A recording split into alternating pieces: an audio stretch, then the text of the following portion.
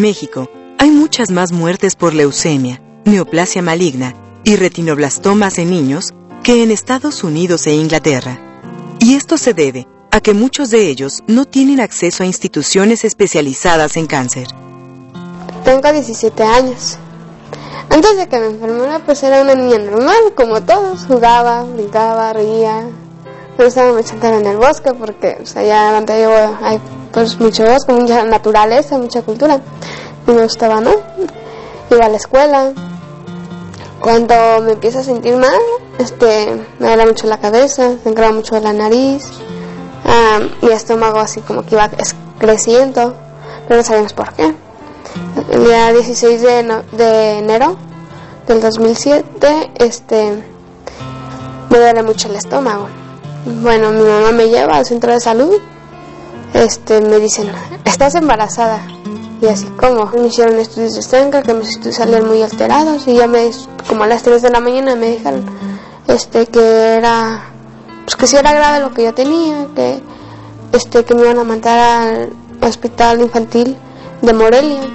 Pasando como una dos semanas, yo creo me dicen, no pues es que mi hija tiene este leucemia, no sé, este, tu leucemia no la podemos atender aquí porque el medicamento es muy caro, este, vamos a mandar a la Ciudad de México.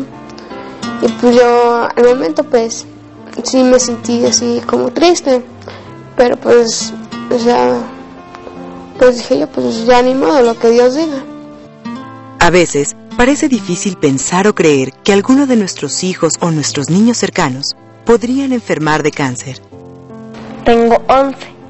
Antes de que me enfermara yo vivía allí en la casa de mis abuelos, pero mi mamá no, no vive con mi papá. Eh, tengo un pequeño de 8 años, se llama José Luis, quien Ahorita está en proceso de recuperación de un trasplante.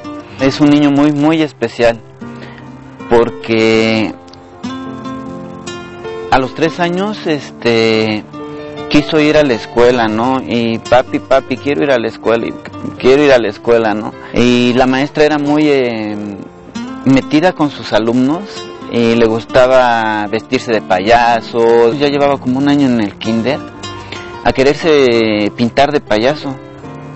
Y pues este, sí un día se agarró un marcador, ¿no? Y se pintó toda la cara. Bien mal hecho, ¿no? Pero él se pintó y quedó para nosotros que es nuestro hijo muy guapo, ¿no? Y, y pues, ¿qué creen? Que de ahí eh, él empezó a, a dar funciones. Nos hizo que le hiciéramos una peluca como la de su maestra, y pues se enteró que iba a tener unos tres años su primita y pues este que va y que les dice que si podía actuar y sí ese día la hizo de chambelán la hizo de mesero y la hizo de, de payaso no y fue el inicio de su pues yo le digo su profesión no los síntomas son muy variados. Cada persona es diferente. Por eso es tan difícil encontrar a un especialista que pueda detectar la enfermedad a tiempo.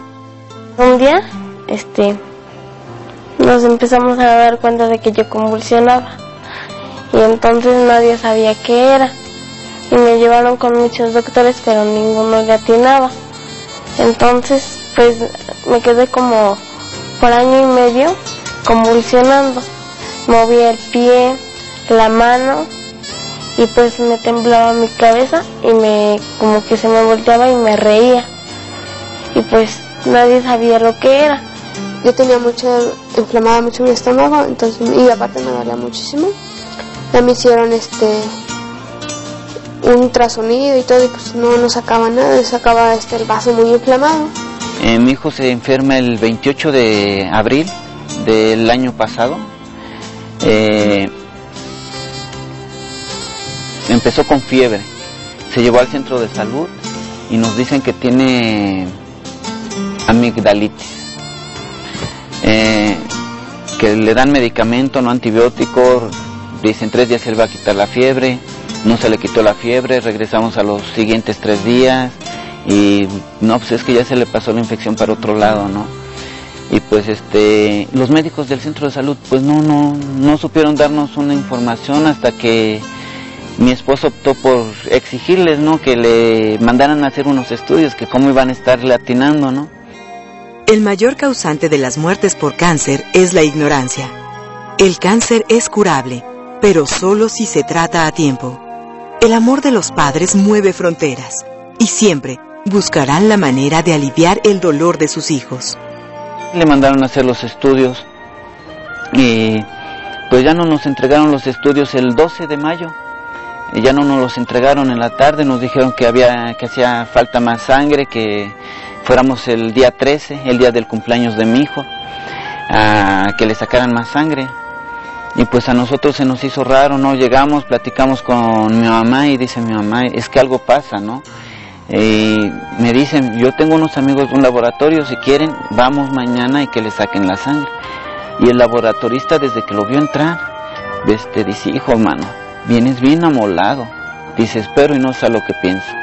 Y luego, luego le palpó sus uñitas este, levantó sus ojitos y nada más meneó la cabeza, ¿no? Ya le sacó la sangre y dice, vengan como en una hora. Dice, esto urge. Y este, regresé como a la hora. Y pues ya me dio la noticia. Dice, mire, mira, tu hijo este, tiene cáncer. Dice, tiene un cáncer que jamás yo nunca he visto. Dice, llevo tantos años de laboratorista y nunca he visto un caso como el de tu hijo. El cáncer, las células del cáncer se menean muy rápido. Tu hijo se está muriendo, ¿no? Necesitas moverte. Le dijo a mi mamá que nos diera un pase para Tuxpan, Michoacán. Llegamos, no, había que no había cirujanos, que no había este lo que yo necesitaba, si era cuestión de una operación o algo. Después, este, ya eran como a las 8 de la noche. Entonces ya pues ahí ya no entramos, ahí ya ni siquiera me quisieron ver, me dijeron que no, que porque iba muy mal. Después me llevaron al general de Zitácuaro, al hospital general de Zitácuaro, Michoacán. Llegamos, eh, me metieron a urgencias, este, tuve como cuatro días ahí, no me decían nada. A pesar de que llegamos y nos dice la especialista, saben que su hijo viene ya muy este invadido, él viene en fase terminal, trae un 90% de su cuerpo invadido, las horas son cruciales, tenemos que actuar inmediatamente. La quimioterapia que le vamos a meter lo puede hasta matar, ¿no? Puede provocarle un derrame cerebral, le puede estallar su corazón, sus pulmones, dice, porque no viene preparado, no ni siquiera este va a tener preparación para recibir la quimioterapia y le vamos a meter dosis muy altas para tratar de detener eso. Y pues mi esposa y yo decidimos que le metieran la quimioterapia, ¿no? Y pues gracias a Dios ahorita aquí está, ¿no? Le metieron en Tlaxcala 135 quimioterapias. Eh, ahorita en el trasplante pues ha sido otro proceso muy difícil, ¿no? ¿Sabes cuántos oncólogos existen en nuestro país?